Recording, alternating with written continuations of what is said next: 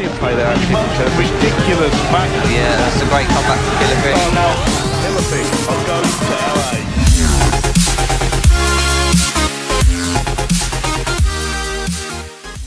Jo, servus Leute, was geht ab? Hier ist wieder euer Shocks und wie ihr seht, aus einer anderen Location heute. Ich bin umgezogen, deshalb hat es in letzter Zeit auch keine Videos mehr gegeben, weil ich ein bisschen im Umzugsstress war. Der eine oder andere kennt es ja vielleicht von euch, wenn man umzieht, gibt es immer sehr, sehr viel zu erledigen. Ähm, es gibt einiges zu besprechen. Ich würde sagen, wir fangen mal an mit unserem neuen vierten Spieler bei Call of Duty Ghosts. Ich meine, ich habe ein Video gemacht, wo ähm, ich erklärt habe, dass sich Rox dazu entschieden hat, ähm, aufzuhören. Und wir haben natürlich dann schnellstmöglich einen neuen Vierten für uns gesucht, einen, der spielerisch mithalten kann, der unsere Taktiken versteht und einfach, ja, wie soll ich sagen, einfach zu uns passt auch.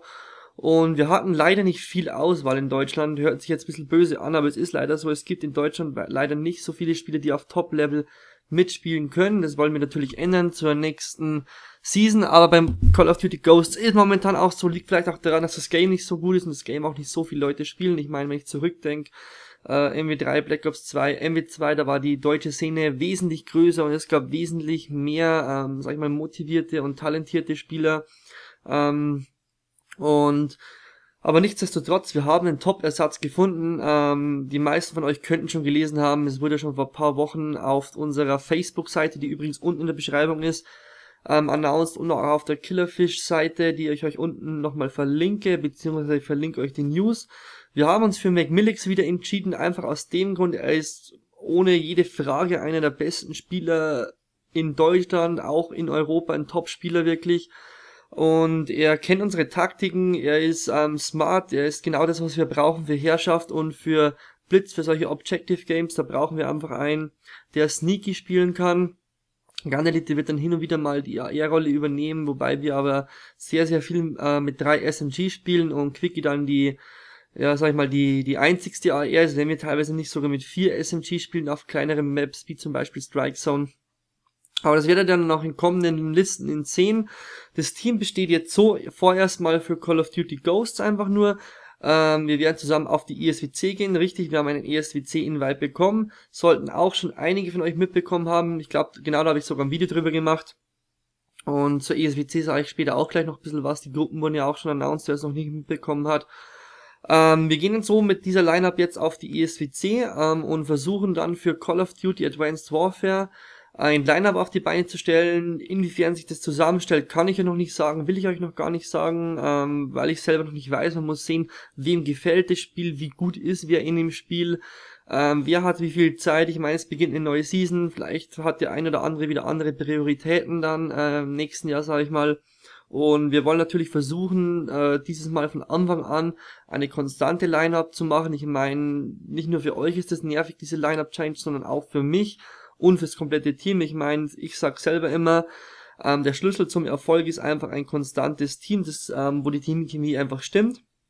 Ich meine, mit der Teamchemie gibt's bei uns wirklich keine Probleme. Wir hatten Gott sei Dank mit den Leuten, die wir immer jetzt mit dem Team haben, immer super Leute erwischt. Egal, ob es der McMillix, der Random oder der Raiden war, waren wirklich Spitzenleute, hat wirklich von der Chemie her super gepasst. Ähm, aber wie gesagt, ähm, das ist jetzt ein anderes Thema. Wir konzentrieren uns erstmal auf die ESWC 2014, die ja bereits in eineinhalb Wochen ist, in Paris. Und versuchen da unser Bestmögliches zu machen. Und wie ihr sehen könnt, ich werde es jetzt hier gleich sehen, ich werde es jetzt hier gleich einblenden, wurden die Gruppen für die ESWC 2014 announced. Ich blende euch das jetzt mal ein. Hier seht ihr die Gruppen für die ESWC 2014, wurde vor ein paar Tagen erst ausgelost, also ist noch relativ aktuell das Ganze. Und hier sehen wir in der Gruppe 1 Team Envious aus Amerika, Basic Esports aus England, ähm, aus Spanien Overgaming und aus, ich glaube, Algerien ist das Mobi Team 3G TNT. Ähm, habe von denen so noch nicht allzu viel gehört, aber ich weiß, dass die letztes Jahr, glaube ich, auch schon auf der ESWC dabei waren, wenn mich nicht alles täuscht. Dann kommen wir zur Gruppe 2. In der Gruppe 2 ist Epsilon Esports, Mindfreak Plantronics, sind wir und Team Delaware. Zu unserer Gruppe werde ich gleich noch ein bisschen was sagen. Machen wir weiter mit der Gruppe 3. Ähm, hier ist Evil Genius, dann ein offener Spot für Frankreich. Team Orbit, also das schwedische Orbit-Team und Team Macbeth aus Japan, das ist eine ganz witzige Geschichte bei denen. Die hatten eine Qualifier und da ist keiner erschienen, weil da irgendwie anscheinend jeder am LoL oder StarCraft zocken ist oder Dota oder weiß der Geier was. Auf jeden Fall ist zu dieser Qualifier keiner entschieden und irgendwie haben sich dann doch vier Spieler gefunden, zusammengewürfelt, die jetzt für Japan hier in den Start gehen. Also in Japan ist Call of Duty leider nicht so am Start wie bei uns oder in der NA-Szene. Dann kommen wir zur Gruppe 4, da haben wir TCM Gaming Team Justice Pro, ähm, den zweiten offenen Frost oder Frankreich-Spot, Spot, den zweiten offenen Frankreich-Spot, so muss es heißen. Und hier Team Kalidos, ja, Team Kalidos aus Brasilien sagt mir auch ehrlich gesagt gar nichts. Ich, also wenn jemand von euch das Team kennt, kann das gerne in die Kommentare schreiben. Ich bezweifle es aber. Und ähm, es sind eigentlich sehr, sehr solide Gruppen. Ähm, man kann nicht viel dazu sagen. Also ich ist, ist, wenn ich mir die Gruppen so anschaue, meine Predictions, wenn ihr sie hören wollt, ihr könnt auch gerne mal eure Predictions schreiben. Ich meine, also ich muss dazu sagen, die Top 2 aus jeder Gruppe kommen weiter. Die, äh, der dritte und der vierte sind sofort ausgeschieden nach der Gruppenphase. Jeder spielt gegen jeden, wie in der WM. Und ich muss dazu sagen, also ich sage jetzt einfach mal meine Predictions, ihr könnt eure gerne dann auch in die Kommentare schreiben. Ich schätze hier mal ganz klar Basic Esports mit PT und Team Envious wird weiterkommen. In der Gruppe 3 Evil Genius und ich denke mal eher das französische Team, da die Franzosen auch relativ stark sind. Und hier wird es eine knappe Geschichte. Hier ist TCM, Team Justice und das dritte Franzosenteam. Ich schätze eher mal auf TCM und das Franzosenteam, da glaube ich Team Justice auch mit ein oder zwei Pickups am Start ist. Die hatten auch irgendwelche Probleme, ich weiß aber nicht welche. Ähm, zu unserer Gruppe, wir haben eine mittelmäßig gute Gruppe, würde ich mal sagen. Zu Team Delaware kann ich nicht allzu viel sagen, habe die noch nicht oft spielen sehen, darf man aber trotzdem nicht unterschätzen, vor allem nicht in Call of Duty Ghosts, weil das Game, ja, wir freuen uns alle auf Advanced Warfare, würde ich sagen. Ähm, Mindfreak Plantronics, es müsste das Mindfreak Team sein, das auf den COD Champs auch war. Die hatten damals ein abnormal gutes S&D, beide australischen Teams, auch das Trinity T1 Dollars Team, wenn ihr euch noch erinnern könnt. Die, oder deren Stärke war eigentlich hauptsächlich das S&D Play. Das war damals wirklich von einer anderen Welt, wie die S&D gespielt haben, was die für Nades geworfen haben und so weiter. Das waren richtig harte S&D Sweater. Kann leider auch nicht viel dazu sagen, wie die jetzt spielen, wie die sich weiterentwickelt haben, ob die noch die gleiche Line-Up haben. Ähm, müssen wir sehen, aber ich denke, das wird auf jeden Fall ein sehr, sehr starker Gegner.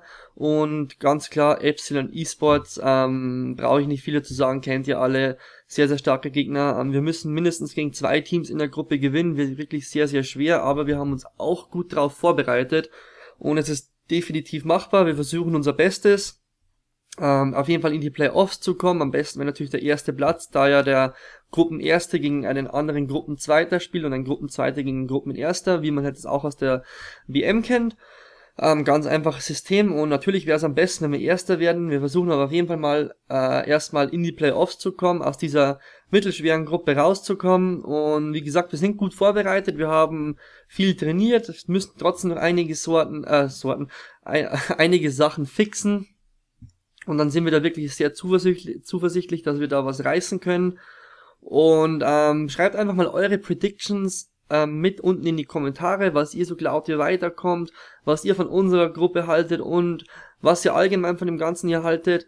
Würde mich freuen, würde mich freuen, wenn ihr das Video auch mit einem Daumen nach oben bewertet und das war's auch wieder von mir. Ich melde mich spätestens auf der ESWC wieder. Ich bin natürlich mit dabei und mache wieder Live-Videos vor Ort. Hoffe, dass ich ein gutes Internet habe, nicht so wie auf der Gamescom, dass ich die Videos auch äh, zeitnah hochladen kann und ansonsten bis die Tage. Ciao, Servus, euer Schocks.